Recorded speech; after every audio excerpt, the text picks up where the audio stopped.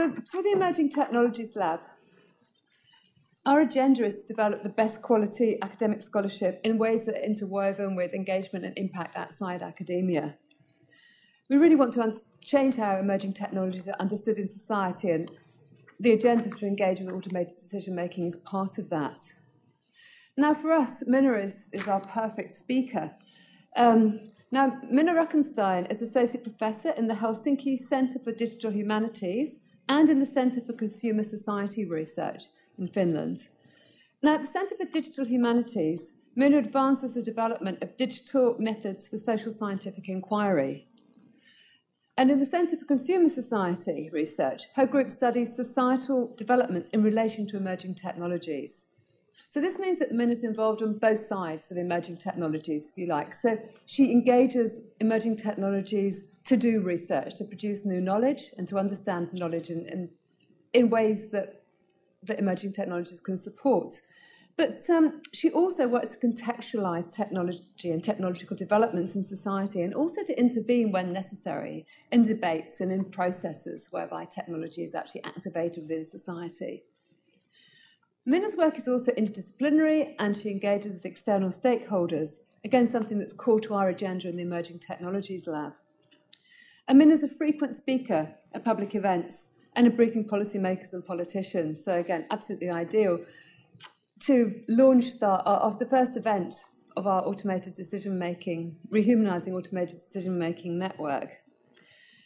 Another key connection here is that um, Minna's collaboration with Algorithm Watch is actually at the core of some of the work she's going to be talking about today. And Algorithm Watch is also a partner for the Centre of Excellence in Automated Decision Making in Society. So, another wonderful connection between our work in Scandinavia and our work here in Australia. Um, Minna also collaborates with many other industry partners, which really has enabled her to develop her work as an engaged researcher as well as a very respected academic researcher. So, I welcome Minna Ruckenstein to come and speak to us. Um, about her work in automated decision making? Finland is a small country. We have uh, 5.5 million people, and uh, and we just got a new prime minister, uh, a young woman in her 30s. So the most of the cabinet is now female-led, which I hope will, you know, also generate some beautiful uh, new trajectories when it comes to ADM systems. The performative stance of uh, of Finland is is that we want to we want to do the best public services in the world with automation. And of course, it's very much performative because we're nowhere near there yet. But it means that we actually have an active debate around what these systems should be. And there are also genuine attempts to repair when things go wrong. Uh, Finland is also a very techno enthusiast country, so, so it's, it's very engineer led. So uh, one of the things that I do in my work, I try to maintain the societal angle in those in those debates, and that's sometimes fairly difficult because engineers say, "Well, you know, we'll just build the stuff and then we'll think about it later." But I think uh, in these questions, we also should think some things in advance, also because many of the failures are happening in the same time. So Sarah mentioned uh, our collaboration with. Um, Algorithm Watch, um, Berlin based NGO that we started working with a bit more than a year ago. And of course, for an academic, it's always always a bit it could be a bit risky to start working with an NGO uh, that has a political agenda. But I have been very, very happy with this collaboration because basically uh, many of the things that we want to advance, um, they actually go to the same direction. So, uh, so this report came out uh, last January, and it was a mapping of what is going on in terms of ADM systems, automated decision making systems in Europe in different countries. I think there were 12 countries uh, that did this mapping. It was a very fast exercise. The idea was that we would have five days to cover uh, policy initiatives, uh, AI strategies, and then we would have some cases which are instructive in terms of what is, what is happening now in terms of ADM systems. So if you don't know what automated decision making actually is, it consists of various technical things. So first of all, data needs to be produced somehow for these uh, for these uh, decision-making systems. So, so, and the data could be. I will discuss cases where the data it comes from social media or emails, or it can come from uh, from how people use public services. They they leave data traces. It could be public registers. All kinds of data sets are possible. And then you have algorithms used to analyze the data, interpret the results of the data analysis, and to make decisions. And here we are very much on the same page with Algorithm Watch, that we always think that, okay, even if it's automation, there's a lot of human input in these processes. So, so the interpretation models are human defined, decision making models are human defined, and those for, uh, for us social scientists, there's something that we can look at. So, Algorithm Watch thinks that automated decision making carries enormous dangers in terms of societal developments, but also holds enormous promise. And this is now an empirical question. We need to actually learn to understand what those dangers are and what, what are the, the promises. There's also other ways to put this. You could say that technologies can be used for good and bad, but they're never neutral. This is something that is often said.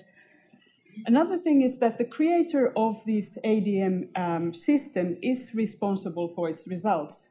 But paradoxically, the one who decides, de desi designs these decision making systems is not necessarily in charge of what happens when they're implemented in, uh, in, in the real life. So when the user is coming to the picture, these systems might generate results that we don't really understand beforehand. So that means that in terms of ethics, we can't really decide the ethical questions beforehand because there are also a lot of questions that can arise in the process. So it's a very processual thing, thing that we have here. A very important, important aspect in terms of a public sector is the fact that these systems need to be understandable. Otherwise, they cannot be held accountable for democratic control. And in, in, in societies, we need to understand what is it that is actually making this decision, and those decisions need to be democratically uh, followed. So what we did after we had published the report, you know, the report is kind of like, okay, so you have these little descriptions of cases. So what do we do then? So I decided that we will use those as a kind of discussion opener and have workshops with, we had them with journalists and students, and we asked them, what do you think about these cases?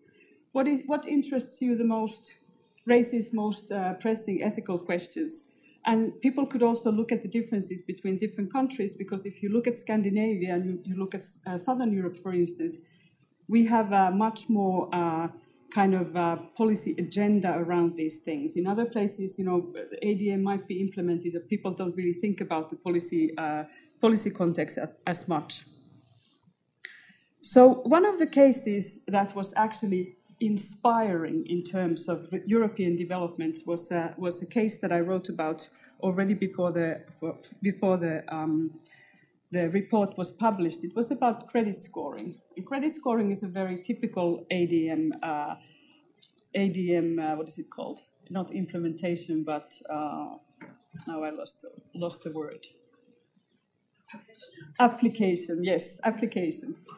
So ADM, ADM is uh, credit scoring is used in, in like I would say that probably in all places where it can be used. But this case was about uh, a new scoring, a credit scoring model that was used uh, for assessing people's creditworthiness when they did purchases in online stores. A young man in his 30s tried to buy building materials in this online store, and for some reason he was denied the credit. So what he did, this was already in 2015, he appealed to the non-discrimination ombudsman in Finland and said that there must be something wrong with this system because I wasn't I was denied the credit and I'm completely credit worthy. So then uh, the non-discrimination ombudsman looked into the case. The company said, well, you know, we can decide who our clients clients are. There's no problem here. Uh, case was was uh, was was uh, put to tribunal, and three years after, the case came out, and it actually it was illegal. So basically, it was against, in violation of anti-discrimination laws. And uh, the company got a, a conditional fine of 100,000 euros if they continue with the case. And what was remarkable in this case was that had the applicant, so he was a young man living in Finland in a remote area, if he would have been a Swedish speaking Finn or a woman, he would have met the company criteria for the credit. So, what this case actually tells us is that when you are grouped in a wrong way, you might be discriminated against. And these ADM systems, they can, they can group you in ways where, with, that you don't, you know, you don't see that in advance. After this, this, came, this case came out, there was also another case uh, where, where uh, age alone was a discrimination criteria. So 83-year-old man tried to buy something but couldn't get credit because, because the credit basically ended when he was he would he would he couldn't get a credit if he was over 80.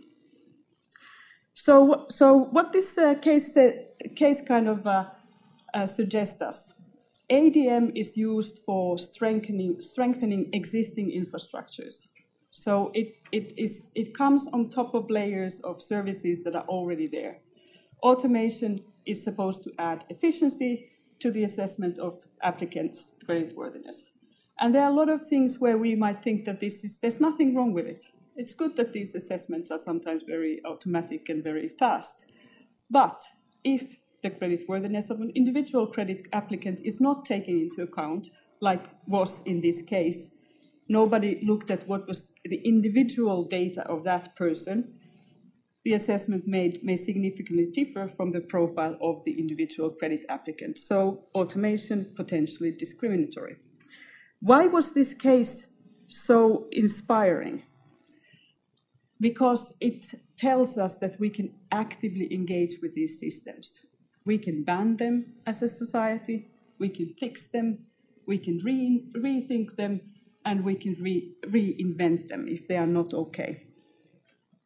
Another case, which is also, you know, something that is very uh, typical in this space, is various kinds of intervention models alert systems, trying to find something that is going, going wrong. So in this case, a Finnish company called Tieto and City of Espoo, which is a, which which is a um, city close to Helsinki, the, the, um, the capital of Finland, they did a pilot where they took a lot of customer information from anonymous social health and information uh, and early childhood uh, education and surveyed with this material. The data was huge, information of more than half half a, half a million citizens, uh, 3.7 million customer contacts, and they looked at that data and tried to find risk factors that would lead to childcare and or child youth psychiatry services needs. They found 280 predictive factors for service needs, which is, of course, for, for every social scientist, is like 280 predictive factors for service needs. What are they?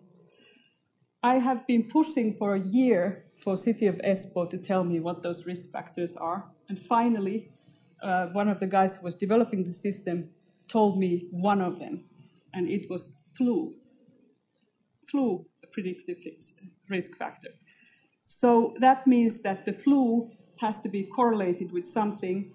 There has to be a certain trajectory of flus, and then it might be a risk factor for uh, for child and youth psychiatry service needs. So, uh, so this case in each workshop that I've, uh, that I've held is always talked about a lot. And these kinds of questions emerge. How do you set the machine sensitivity correctly in order to avoid false alarms? If you have 280 predictive factors, there's, there's going to be false alarms. How does the use of artificial intelligence modify the role and tasks of an employee?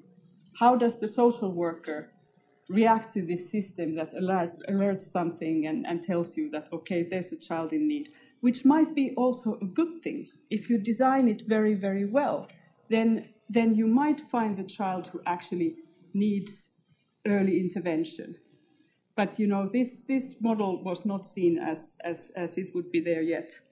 Who takes the overall responsibility? Can an individual worker unknowingly affect another person's life chances? And then always lots of questions about citizen surveillance. So the citizen surveillance comes from the fact that in, in welfare societies like, like Finland, the idea has been that you operate on the collective level. Social harms need to be prevented on the collective level. But here you start to go on an individual level. You start to track individual people and predict those harms. And this goes very much against the idea that we have of society. Denmark had a similar uh, pilot, and I think that why I want to show you this, this is, it was also a pilot that never went forward, but I think that this is instructive because they actually had points for the parents in their intervention model. So diagnosed mental health disorder was 3,000 points, unemployment 500 points. So this is kind of like regular background factors. But then when you try to get to how these parents actually operate, you start pointing things like missing a doctor's appointment, 1,000 points, or missing a dental appointment. So here, here I think I want to um, kind of point towards this idea of behavioral tracking, which is possible with these kinds of systems, but again, from the societal perspective, it can be deeply disturbing, as it was in Denmark. Parents were saying, no, no, this is not good. Additional questions uh, that, um, that these cases uh, raise is data reuse in the public sector. If we take public sector data. Who gets to use the data? Who can experiment with it? Who can learn with it? When you have companies doing that, they can also also build services based on that data and then you, then use them in ways that are not good societally. So so you need to have some mechanisms that you actually track. You know who gets to use this data, how how and what you can do afterwards. A big big area, and the the question uh, the debate has hardly started how are these risk factors, how are they defined and who defines them?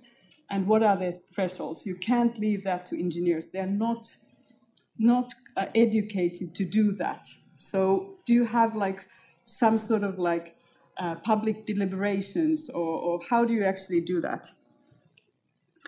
Then a case that was very, very, very debated. Uh, these are two guys, they are psychologists who work in, uh, in hiring services. And I have been particularly talking to Juho Toivola, who's the second guy here. We wrote a little story about their company, which, uh, which wants to use emails and social media posts for personality assessment in hiring contexts. And, uh, and immediately when we had written it, uh, Algorithm was uh, picked it. Uh, Matthias uh, Spielkamp and Nicolas Kayser-Bril they wrote a story about it um, with this title "Resist the Robot Takeover." When you know the digital minds were like, "Oh my, this is this is this is a bit too much." You know, we are a small startup company. We are not taking over the world.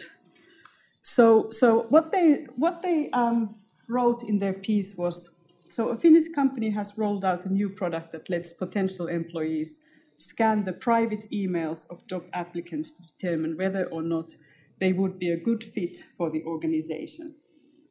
The company Digital Minds for Trades is offering us something innocuous. If applicants give their consent, what's the harm? And Algorithm Watch uh, guys said, the truth is we don't know. We don't know the answer to that question, and that's what makes these new potentially intrusive and discriminatory te technologies like this one so scary. So in the workshops, yes, lots of uh, talk about uh, what if you have these kinds of services in the hiring context, uh, that you actually have to open your emails for some sort of or social media posts for some sort of uh, some sort of um, uh, assessment, and then somebody somebody makes decisions based on it. For me, it was also very interesting because because this was kind of like when you work with a with an NGO, uh, it's something that you wouldn't do as a researcher. Uh, Algorithm Watch actually uh, reported Digital Minds to the Finnish uh, Data Protection Ombudsman, and they have been looking into the case. We don't have the final uh, final response to it yet, and and then I was kind of in the middle. I was writing about this company, and and they said, "Oh, the Germans are after us. You know, they want." A precedence in the battle against algorithms, and of course the data, data uh, general data protection uh, regulation that came into force in in uh, in Europe was also part of this. So I thought that okay, the, so this is a good um, good possibility to now kind of uh, try to try to have like a conversation and, and understand a little bit better what is going on there. First of all, what the company actually does when it takes the emails and the social media, it actually used an existing uh, technology, IBM Watson's personality models. And here, Juho Toivola was, was kind of underlining to me that you have to understand that when people use assessment technologies in hiring context, it's performative. You know, all those assessments that we need to do, they're not objectively right. So he thought that you can kind of do this performative thing quicker. You don't have to do any surveys or anything. So he thought it was actually a, a good thing that they were doing. So then, uh, then the, the story was picked up in uh, Finnish media. Uh, the national broadcasting company wrote about it in, uh, in May, and they actually got a response from the data protection ombudsman. So, data protection ombudsman said that the applicant's position is subordinate, questionable whether consent given can be genuine in, in this context. So, in a hiring context, if you are, give me your email passwords, we're going to do this text analysis, personality based, can a person actually say no? What does the analysis of messages entail? are, the, are the algorithms reliable? Well, I, say, I would say that they're not so reliable. It's like Enneagram. Is Enneagram reliable or not a horoscope? Because, because this IBM Watson is not hardly a, a personality assessment, a scientifically proven technique. But then he was also saying that emails are governed by the Confidentiality of Correspondence Act, like letters. But I think that the most crazy revelation was in this piece was that this company actually did not have any clients. So they had been talking about this case, and they had one, one person who had consented to the analysis of work emails in a hiring context. So the whole whole thing was, you know, around this like one person. And less than 10 people had participated altogether, including social media text analysis. And that's when the guy said to me, It's a proof of concept. It's not an actual service. So, what do these cases, what do they suggest?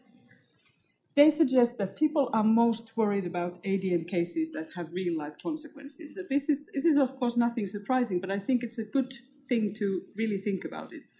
Hiring, employment, education, health, protection of children, caring for elderly. Those are the things that, that are ethically disturbing or ethically um, people want to discuss them. But they also suggest that startup innovation logic they need careful scrutiny.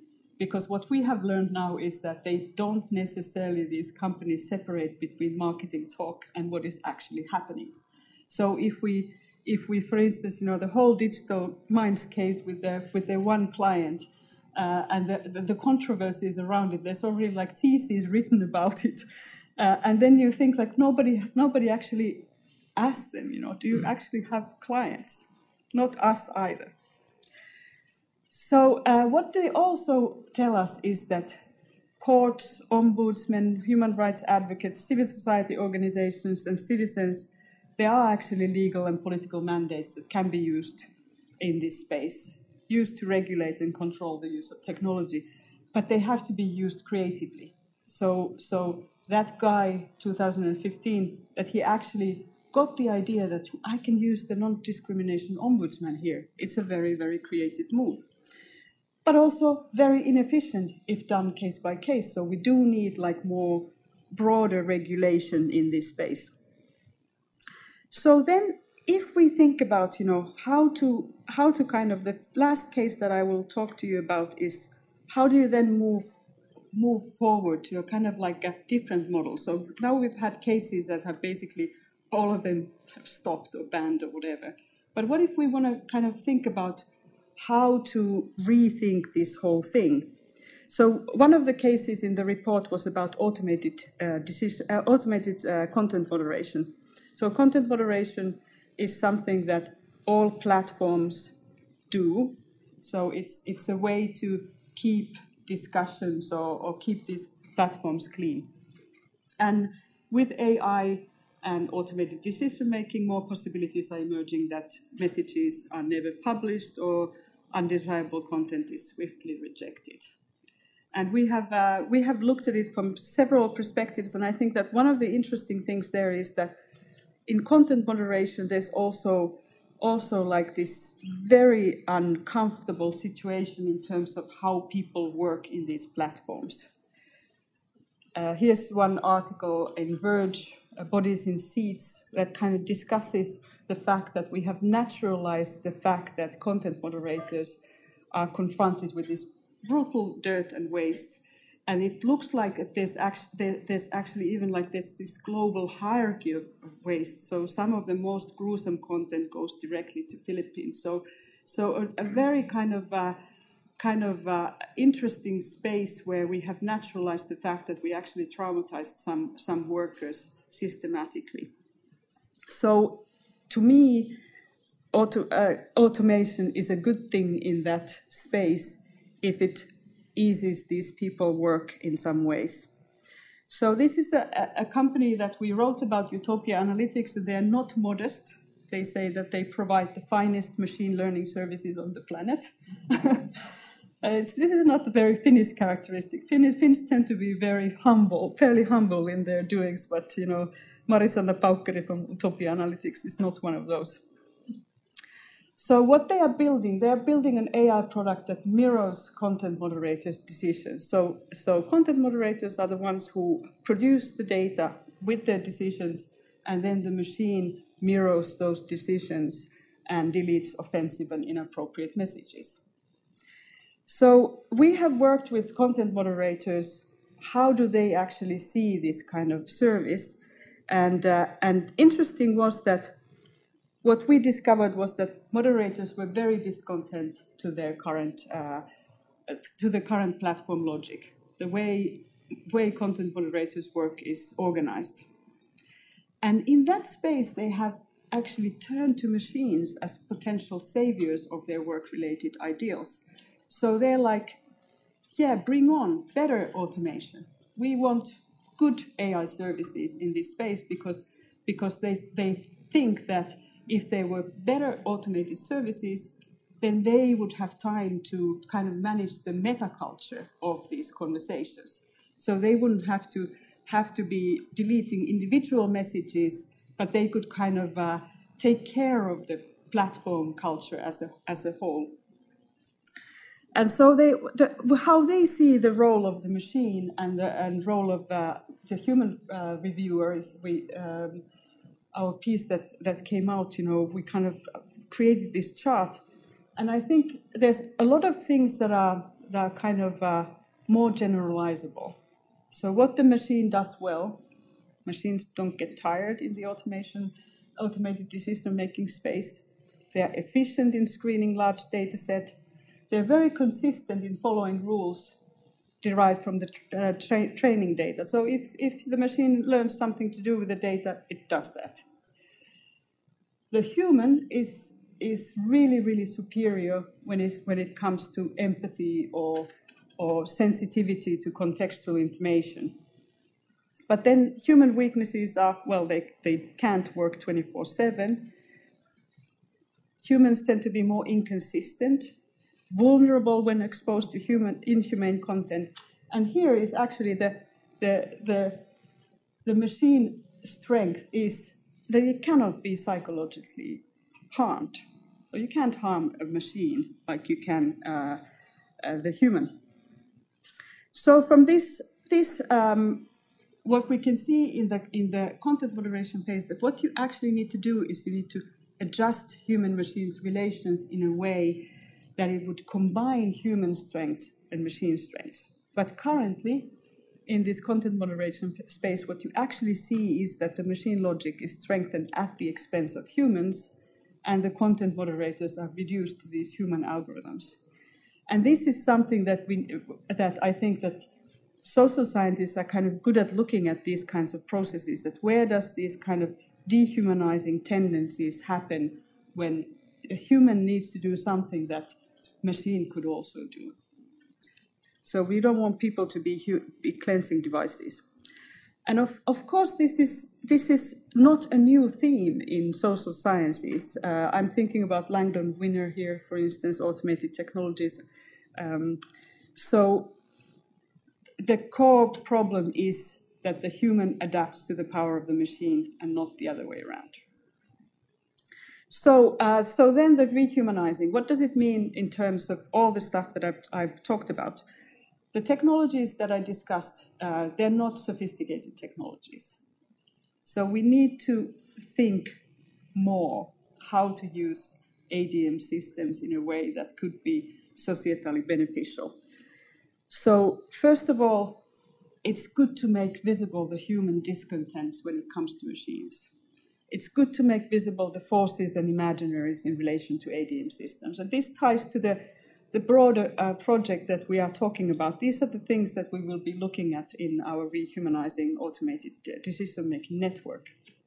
So, so what the rehumanizing actually is, it's, it's kind of a starting point for exploring first the complexities of these ADM systems. Uh, we have to look at you know the, the human there as a critical and creative agent in this human machine relationship. What do people actually do around this system and with these systems? What do they aim at? And that rehumanizing move will push us to rethink and reimagine these socio-technical systems.